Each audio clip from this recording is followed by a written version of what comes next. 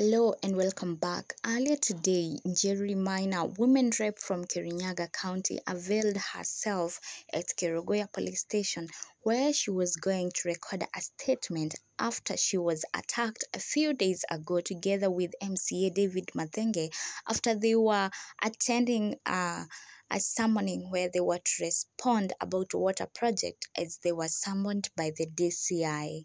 Njeri and her lawyer were able to give the media information that they were able to give out names of the goons they could identify in the video. These ones included those that were behind the plan and also those one who put into action the vicious act of uh, attacking them. Njeri, who sustained a serious injury on her head, has been hospitalized since then, and apparently she appeared on a wheelchair, which has raised questions amongst Kenyans, calling it pretense because they don't understand how a mere injury on head could lead to her coming with a wheelchair. But anyway we're not sure because we're not medics here but time will tell but we wish her quick recovery. Thank you so much. You can share your opinion with me. I really appreciate. Remember to be kind and to subscribe. Thank you so much